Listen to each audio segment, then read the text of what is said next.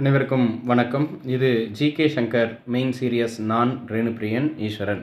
இன்றைக்கி நாம் டா பார்க்க போகிற டாபிக் வந்து வேலை வாய்ப்பின்மை தொடர்பாக நாம் பார்க்க போகிறோம். அன்எம்ப்ளாய்மெண்ட் என்ற ஒரு டாபிக் வந்து பார்க்குறோம்.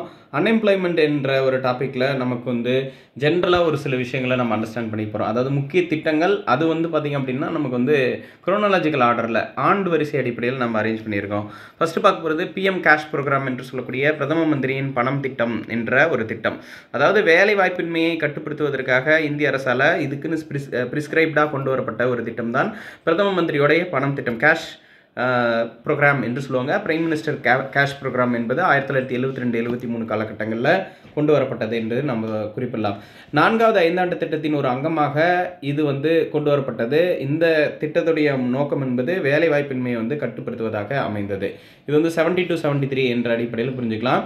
ஸோ அதற்கு அடுத்ததாக மிக முக்கியமான ஒரு கமிட்டியாக நாம் பார்க்கக்கூடியது வந்து வேலைவாய்ப்பின்மை தொடர்பாக இருக்கக்கூடிய கமிட்டி ஆயிரத்தி தொள்ளாயிரத்தி எழுபத்தி மூணில் பகவதி கமிட்டி என்று குறிப்பிடப்படுகிறது. பகவதி கமிட்டியானது இந்திய அரசு வேலைவாய்ப்பின்மை அளவை வந்து மதிப்பிட்டு அதற்கு தீர்வு காணும் வழிமுறைகளை வந்து ஏற்படுத்துவதற்காக உருவாக்கப்பட்ட ஒரு குழுவாக இது வந்து அமையப்பெற்றது என்பது குறிப்பிடுகிறோம்.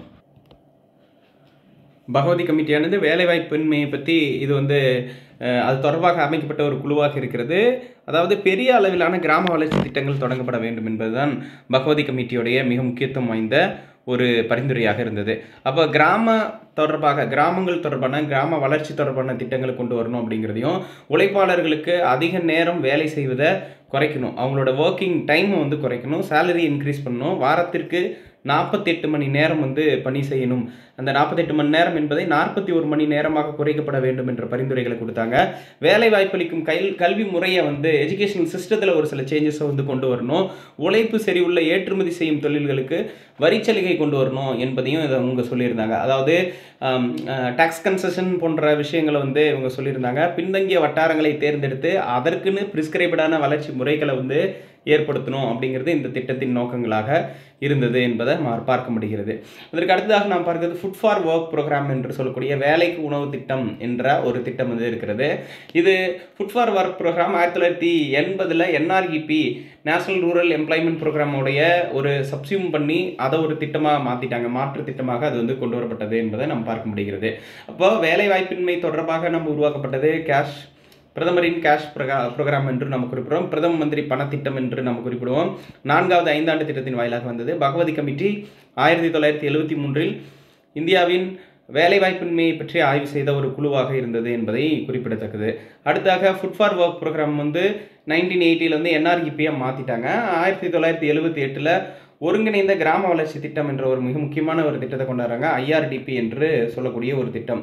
இந்த ஐஆர்டிபி வந்து budget seventy six seventy seven பட்ஜெட்டில் அறிவிக்கப்பட்ட ஒரு திட்டம். அதாவது ஆயிரத்தி தொள்ளாயிரத்தி எழுபத்தெட்டு எழுபத்தொம்போது பட்ஜெட்டில் அறிவிக்கப்பட்ட ஒரு திட்டமாக இருந்தது. இது பார்த்திங்கன்னா உண்மொழியப்பட்ட ஆண்டு அதாவது நடைமுறைக்கு வந்தது என்ற அடிப்படையில் ஆயிரத்தி தொள்ளாயிரத்தி எழுபத்தி எட்டில் நடைமுறைக்கு வருகிறது. கரெக்டாக சொல்லணும்னா எழுபத்தெட்டு எழுபத்தி ஒன்பதில் வந்து இதை வந்து இம்ப்ளிமெண்ட் பண்ணுறோம் கிராமப்புற ஏழைகளுக்கு சுய வேலைவாய்ப்பை ஏற்படுத்தி கொடுக்கக்கூடிய ஒரு திட்டமாக இருந்தது என்பது குறிப்பிடத்தக்கது. கிராமப்புற வேலை ஏழைகளுக்கு வேளாண்மை தோட்டத்தொழில் கால்நடை வளர்ப்பு நெசவு தொழில் கைவினை தொழில் வர்த்தக செயல்பாடு போன்றவற்றில் முக்கியத்துவம் வாய்ந்த செயல்பாடுகளை அவங்க ஏற்படுத்தி கொடுக்குறாங்க என்பதையும் பார்க்க முடிகிறது. அதற்கு அடுத்ததாக இத்திட்டம் இருபது மாவட்டங்களில் மட்டுமே இம்ப்ளிமெண்ட் பண்ணுறாங்க ஆயிரத்தி தொள்ளாயிரத்தி எண்பத்தி இரண்டு முதல் நாட்டில் அனைத்து பகுதிகளுக்கும் இது வந்து நீட்டிக்கப்பட்டது என்பது குறிப்பிடத்தக்கது. ஆயிரத்தி தொள்ளாயிரத்தி எண்பத்தி ரெண்டு முதல் அனைத்து பகுதிகளுக்கும் நாட்டின் அனைத்து பகுதிகளுக்கும் வந்து நீட்டிக்கப்படுகிறது என்பது குறிப்பிடத்தக்கது. எனவே ஆயிரத்தி தொள்ளாயிரத்தி எண்பத்தி ரெண்டு முதல் நாட்டின் அனைத்து பகுதிகளுக்கும் நீட்டிக்கப்பட்ட ஒரு திட்டமாக இது வந்து அறியப்படுகிறது. அதுக்கடுத்து ஆயிரத்தி தொள்ளாயிரத்தி எழுபத்தி ஒன்பதில் ட்ரிசம் என்ற ஒரு ப்ரோக்ராமை கொண்டு வராங்க. Training rural youth for self employment programme என்று நம்ம குறிப்பிடுவோம்.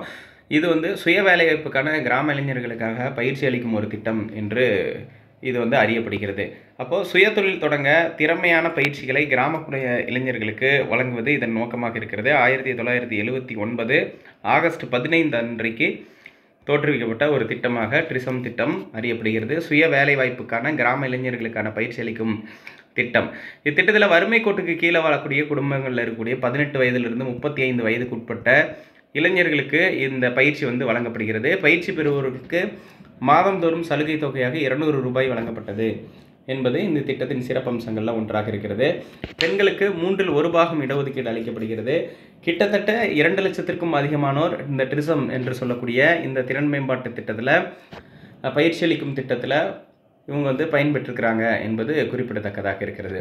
அதுக்கடுத்தாக ஆயிரத்தி தொள்ளாயிரத்தி எண்பது என்ஆர்இபி என்ற ஒரு திட்டத்தை பார்க்குறோம். நேஷனல் ரூரல் எம்ப்ளாய்மெண்ட் ப்ரோக்ராம் தேசிய கிராமப்புற வேலைவாய்ப்பு திட்டம் ஆயிரத்தி தொள்ளாயிரத்தி எண்பது என்ற ஒரு திட்டத்தை பார்க்குறோம்.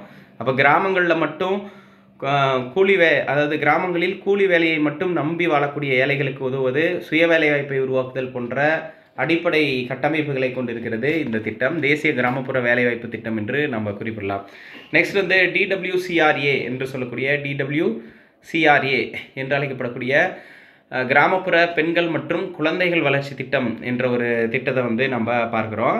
இது பார்த்திங்க அப்படின்னா குழந்தைகள் பெண்கள் மற்றும் குழந்தைகள் தொடர்பாக இருக்கக்கூடிய ஒரு திட்டமாக அறியப்படுகிறது. கிராமப்புற பெண்கள் மற்றும் குழந்தைகள் வளர்ச்சி திட்டம் என்று நம்ம குறிப்பிடுறோம். இப்போ விமன் அண்டு சில்ட்ரன் இந்த ரூரல் டெவலப்மெண்ட் என்ற ஒரு அடிப்படையாக கொண்டு வரப்பட்ட ஒரு திட்டம் என்று நாம் பார்க்கிறோம். அதுக்கடுத்ததாக ஆயிரத்தி தொள்ளாயிரத்தி எண்பத்தி மூணில் ஆர்எல்இஜிபி என்ற ஒரு திட்டம் வந்து கொண்டு வரப்படுகிறது. ஆர்எல்இஜிபி அப்போ rural landless employment guarantee programme என்று இதை வந்து குறிப்பிடலாம். ஆயிரத்தி தொள்ளாயிரத்தி எண்பத்தி மூன்று ஆகஸ்ட் பதினஞ்சில் கொண்டு வரப்பட்ட திட்டம். ஆகஸ்ட்டு பதினஞ்சு. அப்போ சுதந்திர தினத்தில் மிக பெரும்பான்மையாக நன்கன் முக்கியத்துவம் வாய்ந்த திட்டங்களை வந்து அறிமுகப்படுத்தியிருக்கிறாங்க. நிலமற்ற கிராமப்புற ஏழைகளுக்கு வேலை அளிப்பது இந்த திட்டத்தின் நோக்கமாக இருக்கிறது. நிலமற்ற கிராமப்புற ஏழைகளுக்கு எண்பது முதல் நூறு நாட்கள் வேலை அளிப்பது இதன் நோக்கமாக இருக்கிறது. பட்டியல் பழங்குடியினர் ஆகியோருக்கு வந்து நூ- அவங்களுக்கு சிறப்பு ஏற்பாடுகளை செஞ்சுருக்காங்க. இத்திட்டத்தின் கீழ் எஸ்சி எஸ்டி பயன்பெறும் பயனாளிகளுக்கு பத்து சதவீத நிதியும் சமூக காடுகள் மேம்பாட்டிற்காக இருபது சதவீத நிதியும் ஒதுக்கிடப்பட்டது என்று நாம் குறிப்பிடுறோம். அது மட்டும் இல்லாமல் இந்திரா ஆவாஸ் யோஜனா திட்டத்தின் கீழ் வீடு கட்டி கொடுக்கவும் இருபது சதவீதம் நோ நிதி வந்து ஒதுக்கி ஒதுக்கீடு செய்யப்பட்டது. இத்திட்டம் பின்பு ஜவஹர் ரோஜ்கர் யோஜனாவுடன் இணைக்கப்படுகிறது. ஜேஆர்ஒய் கூட இணைச்சிடுறாங்க. ஜேஆர்ஒய் கூட இணைச்சு அதை வந்து இம்ப்ளிமெண்ட் பண்ணக்கூடிய ஒரு ஒரு திட்டமாக மாற்றி விடுகிறார்கள். அப்போ இந்த அடிப்படையில் நாம் பார்க்கும் பொழுது ஃபஸ்ட்டு இந்த வேலைவாய்ப்பின்மையில் இருக்கக்கூடிய முக்கிய கமிட்டியாக பகவதி கமிட்டி அமைக்கப்படுகிறது. அது இல்லாமல் ஐஆர்டிபி என்று சொல்லக்கூடிய ஒருங்கிணைந்த கிராம வளர்ச்சி திட்டம் என்ற ஒரு திட்டத்தை நாம் பார்க்க முடியுது. ட்ரிசம் என்ற சுய சுய வேலைவாய்ப்பு கிராம இளைஞர்களுக்கான பயிற்சி அளிக்கும் திட்டத்தை பார்க்க முடியுது.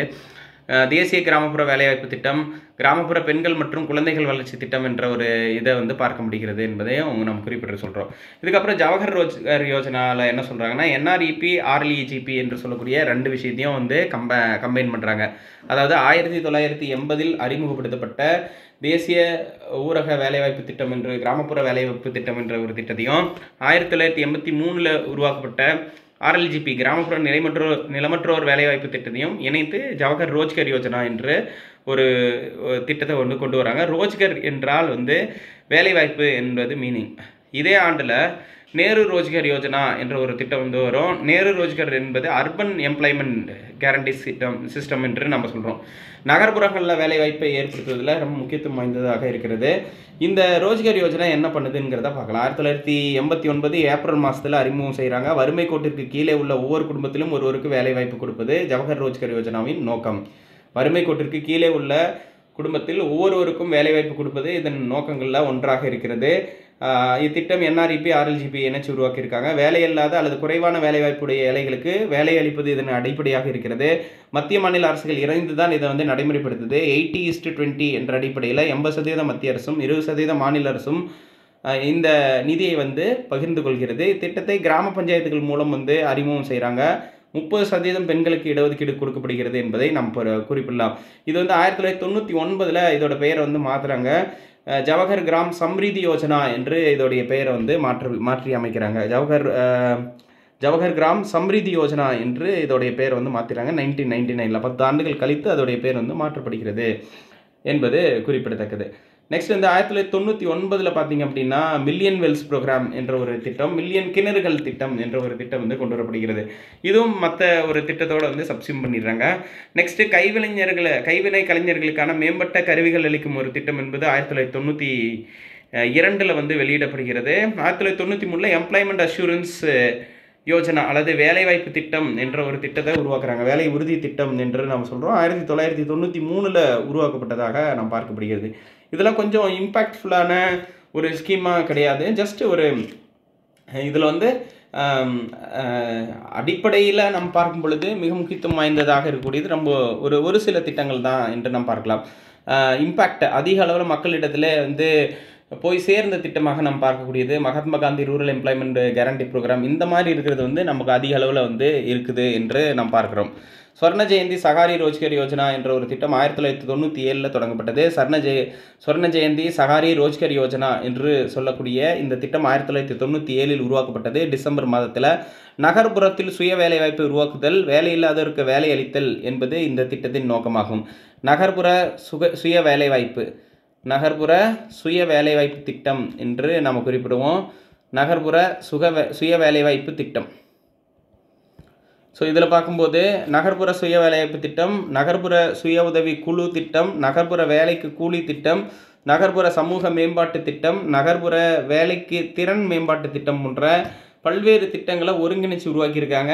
இந்த திட்டத்தை பத்து வரைக்கும் seventy five is to twenty five என்ற ரேஞ்சில் நிதி வந்து பகிர்ந்து கொள்ளப்படுகிறது என்பதையும் நம்மளால் பார்த்துக்கொள்ள முடிகிறது.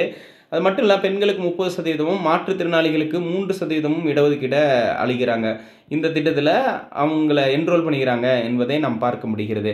ஸோ அப்போ இது ஒரு முக்கியத்துவம் வாய்ந்த ஒரு திட்டமாக அறியப்படுகிறது. அதே அதே மாதிரி ஆயிரத்தி தொள்ளாயிரத்தி தொண்ணூற்றி ஏழில் கங்கா கல்யாண் யோஜனா என்ற ஒரு ஒரு திட்டமும் வந்து உருவாக்கப்படுகிறது என்பதை நம்மளால் பார்க்க முடிகிறது. இப்போ கங்கா கல்யாண் யோஜனா சொர்ண ஜெயந்தி சகாரி ரோஜ்கர் யோஜனா போன்ற திட்டங்கள் வந்து இருக்கிறது என்பதை நாம் பார்க்க முடியுது அதுக்கப்புறம் ஆயிரத்தி தொள்ளாயிரத்தி தொண்ணூற்றி ஒன்பதில் மிக முக்கியமாக சொர்ண ஜெயந்தி கிராம் ஸ்வராஜ்கர் யோஜனா என்று சொல்லக்கூடிய ஒரு திட்டம் உருவாக்கப்படுகிறது. என்ஆர்எல்எம்மத்தோட மாற்று நேம் என்று நம்ம குறிப்பிடுறோம். ஸோ அப்போ என்ஆர்எல்எம் என்று சொல்லக்கூடிய ஒரு திட்டம்.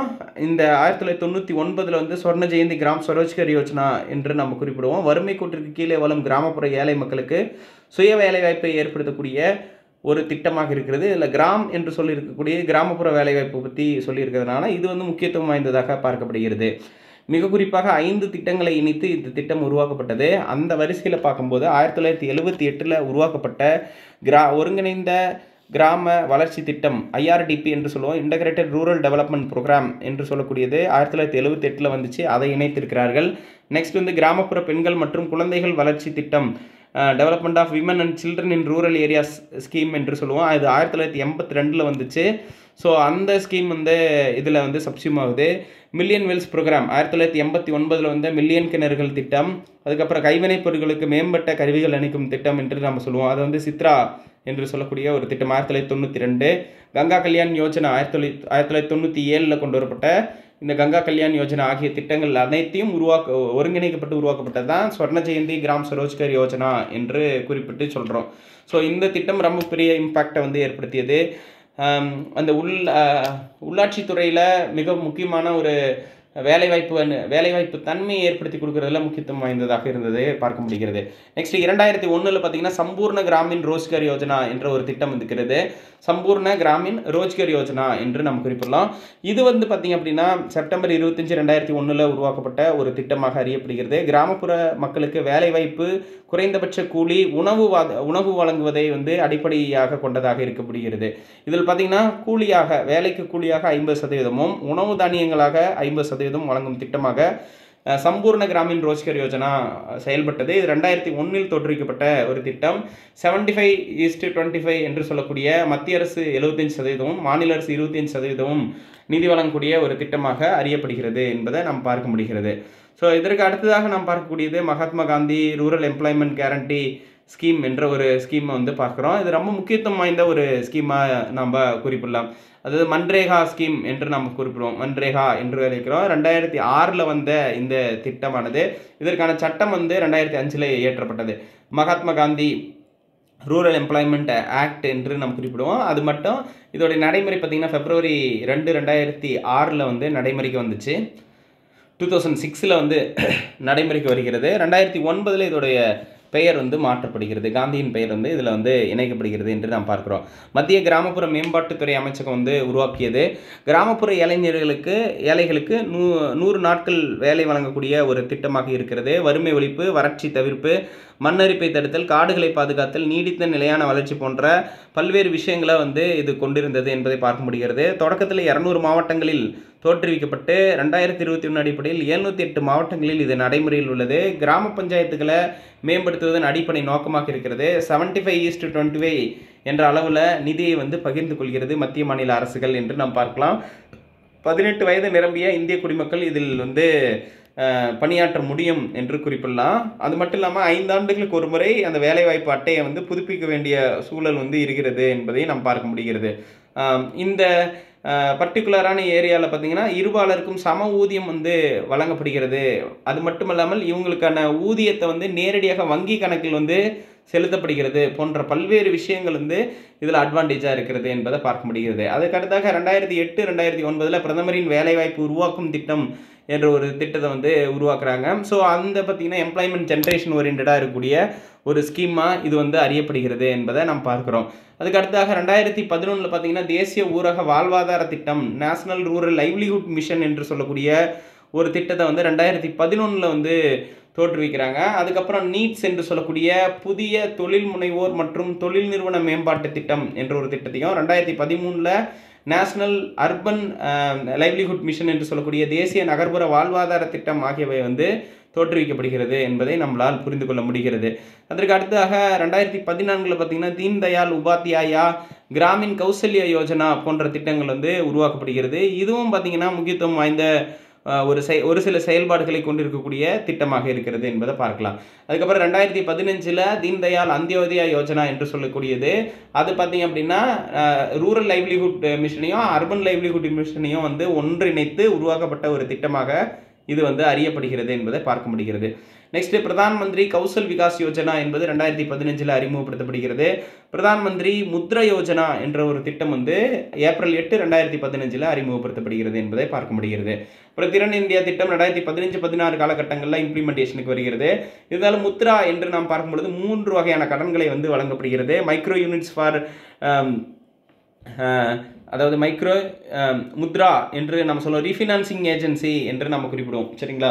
ஸோ அந்த அடிப்படையில் இந்த ரீஃபினான்சிங் ஏஜென்சி என்று சொல்லக்கூடிய ஒரு அடிப்படையில் மூன்று வகையான கடன்களை வந்து இது வந்து வழங்குகிறது என்று பார்க்குறோம். அதில் வந்து சிசு என்று சொல்லக்கூடியது ஐம்பதாயிரம் வரைக்கும் வழங்கப்படக்கூடிய ஒரு கடனாக இருக்கிறது. அதுக்கப்புறம் கிஷோர் என்று சொல்லக்கூடிய ஒரு கடன் முறை இருக்கிறது. ஐம்பதாயிரம் முதல் ஐம்பதாயிரம் முதல் ஐந்து லட்சம் வரைக்கும் வழங்குகிறது. அதுக்கப்புறம் தருண் அப்படிங்கிறது அஞ்சு லட்சத்துலேருந்து பத்து லட்சம் வரைக்கும் கடன் வழங்கக்கூடிய ஒரு ஒரு முறையாக இருக்கிறது என்பதை பார்க்குறோம். அப்போ இது என்ன பண்ணுதுன்னா பெண்களுக்கு வந்து அதிக அளவில் தொழில் வாய்ப்புகளை ஏற்படுத்தி கொடுக்கக்கூடிய ஒரு திட்டமாக அமைகிறது என்பதை பார்க்குறோம். அதுக்கப்புறம் ஸ்டார்ட் அப் இந்தியா திட்டம் ஸ்டாண்ட் அப் இந்தியா திட்டம் என்று கூடிய ரெண்டு இருக்கிறது. அப்போ ஸ்டார்ட் அப் பார்த்தீங்கன்னா ஜனவரி பதினாறில் உருவாக்கப்படுகிறது. ஜனவரி பதினாறு ரெண்டாயிரத்தி பதினாறு என்று நம்ம குறிப்பிடுறோம். இந்த ஸ்டார்ட் அப்க்கும் எம்எஸ்எம்ஐக்கும் சம்மந்தம் கிடையாது. மைக்ரோ ஸ்மால் மீடியம் என்டர்பிரைசஸ்ன்னு சொல்லக்கூடிய இந்த மாதிரியான அமைப்புகளுக்கும் ஸ்டார்ட் அப்புக்கும் சம்மந்தம் கிடையாது. ஏன் அப்படின்னா இது வந்து ஒரு பரிச்சார்த்த முயற்சியில் தொடங்கப்படக்கூடியது தான் start up start up maximum பார்த்தீங்கன்னா இன்னோவேஷன் அடிப்படையில் தொடங்கப்படக்கூடிய ஒரு ஒரு நிறுவனமாக இருக்கும் அப்படிங்கிறத நாம் பார்க்கலாம். ஆனால் அது அது எதோட வரையறைக்குள்ளார வரும்னா இண்டஸ்ட்ரி பேஸ் பண்ணி வரும்போது மைக்ரோ ஸ்மால் மீடியம் என்ற அடிப்படையில் வந்தாலும் இது வந்து இந்த ஸ்டார்ட் அப் இந்தியா என்பது மி- மிக முக்கியத்துவமான புதிய தொழில் வாய்ப்புகளை ஏற்படுத்தல அடிப்படையாக தான் கொண்டது. அப்போ வேலை வாய்ப்புகளை ஏற்படுத்தி கொடுத்தல் இத்திட்டத்தின் மூலம் தொழில் தொடங்க முன்வரும் நிறுவனங்களுக்கு சலுகை வழங்கப்படுகிறது. புதிய தொழில் முனைவோர் மையங்களை வந்து உருவாக்குதல் புதிய கண்டுபிடிப்புகளுக்கான திட்டம். அட்டல் இன்னோவேஷன் மிஷன் ஒன்று கொண்டு வந்திருப்போம். அப்புறம் ஸ்டார்ட் அப் உதவி மையம். ஸ்டார்ட் அப் நிறுவனங்களுக்கு நூறு சதவீதம் வரை வரிவிலக்கு அளித்தல் போன்ற பல்வேறு விஷயங்களை வந்து இது கொண்டிருக்கிறது என்பதை பார்க்க முடியுது. அப்புறம் ஏப்ரல் அஞ்சில் உருவாக்கப்பட்ட ஸ்டாண்ட் அப் இந்தியா திட்டம் என்பதை நாம் பார்க்குறோம். ரெண்டாயிரத்தி பதினாறு ஏப்ரல் அஞ்சு. ஸ்டாண்ட் அப் இந்தியா என்பது schedule caste schedule tribe women ஆகிய ஷெட்யூல் காஸ்ட் ஷெட்யூல் ட்ரைபை சார்ந்த பெண் தொழில பெண் தொழில் முனைவோருக்காக தொடங்கப்பட்ட ஒரு திட்டமாக ஸ்டாண்ட் அப் இந்தியா திட்டம் அறியப்படுகிறது. வங்கி மூலம் கடனுதவி வழங்கப்படுகிறது. பத்து லட்சம் முதல் ஒரு கோடி வரையிலான கடன் வந்து வழங்கப்படுகிறது என்று நம்ம குறிப்பிடுறோம். ஸோ அப்போ இது இது வந்து மிக முக்கியத்துவம் வாய்ந்த ஒரு திட்டமாக இருக்கிறது. அதாவது பின்தங்கிய பிரிவினர் விளிம்பு நிலை மக்கள் மேம்படுத்துவதற்காக அவங்களுடைய அடிப்படை பண்புகளை மேம்படுத்துவதற்காக கொண்டு வரப்பட்ட ஒரு திட்டமாக இருக்கிறது. நெக்ஸ்ட்டு பிஎம் தாஷ் திட்டம் அப்படின்னு சொல்லக்கூடிய தக்ஷ் என்று ஒரு திட்டம் வந்து இருக்கிறது. ரெண்டாயிரத்தி இருபது இருபத்தி ஒன்றில் உருவாக்கப்பட்ட குறுகிய கால திறன் மேம்பாட்டு பயிற்சி திட்டம் என்று நாம் குறிப்பிடலாம். குறுகிய கால திறன் மேம்பாட்டு பயிற்சி என்று சொல்கிறோம் ஷார்ட் டைமில் ஸ்கில் டெவலப்மெண்ட்டை ஊக்குவிக்கிற வகையில் இது வந்து அமைந்திருக்கிறது. துப்புரவு தொழிலாளர்கள் schedule caste schedule tribe OBC திருநங்கைகள் அது மட்டுமல்லாமல் கழிவுகளை அகற்றுவர்கள் ஆகியோர்கள் பின்தங்கி இருக்க இருக்கவங்க. இவங்களுக்கான ஒரு திட்டமாக இது வந்து காணப்படுகிறது. பெண்களுக்கு முக்கியத்துவம் வழங்கப்படுகிறது. அரசு துறை பயிற்சி நிறுவனங்கள் மற்றும் புகழ்பெற்ற நிறுவனங்கள் மூலம் பயிற்சி வழங்கப்படுகிறது என்பதை நாம் பார்க்குறோம். அப்போ குறுகிய கால திறன் மேம்பாட்டு திட்டமாக இது வந்து நம்ம அளிக்கப்படுகிறது அப்படிங்கிறத பார்க்குறோம். அப்புறம் ஸ்கில் இந்தியா ப்ரோக்ராமை முன்னாடி பார்த்துருக்கோம். ரெண்டாயிரத்தி அஞ்சில் வந்து ஸ்கில் இந்தியா ப்ரோக்ராம் வந்து உருவாக்கப்பட்டது. மக்களுக்கான திறன் மேம்பாடு தொடர்பாக நாம் உருவாக்கப்பட்ட ஒரு திட்டமாக இருக்கிறது. அப்போ திறன் மேம்பாட்டு தொழில் முனைவோருக்கான தேசிய கொள்கை ரெண்டாயிரத்தி பதினஞ்சில் அறிமுகப்படுத்தப்படுகிறது. தேசிய திறன் மேம்பாட்டு இயக்கம் பிரதம மந்திரி கௌசல் விகாஸ் யோஜனா போன்ற துணை திட்டங்களை திட்டம் வந்து ஸ்கில் இந்தியா வந்து கொண்டிருக்கிறது என்பது மிக மிக மிக முக்கியத்துவம் வாய்ந்த ஒரு ஒரு விஷயமாக பார்க்கப்படுகிறது. அதுக்கப்புறம் தமிழ்நாடு வந்து நகர்ப்புற வேலைவாய்ப்பு திட்டத்தை வந்து உருவாக்கணும் அப்படின்னு சொல்லிட்டு ரெண்டாயிரத்தி இருபத்தி ஒன்றில் சி. ரங்கராஜன் கமிட்டி ஒரு பரிந்துரை வந்து கொடுத்துருக்கிறது. அர்பன் எம்ப்ளாய்மெண்ட் ப்ரோக்ராம் வந்து தமிழ்நாடு வந்து இம்ப்ளிமெண்டேஷன் பண்ணணும் அப்படிங்கிறதையும் சொல்லியிருக்கு. ஸோ அப்போ பல்வேறு வேலைவாய்ப்பு திட்டங்கள் வந்து உருவாக்கியிருக்கிறாங்க. அந்த திட்டங்கள் மிக முக்கியத்துவம் வாய்ந்த செயல்பாடுகளை வந்து கொண்டிருக்கிறது என்பதையும் நாம் பார்க்குறோம்.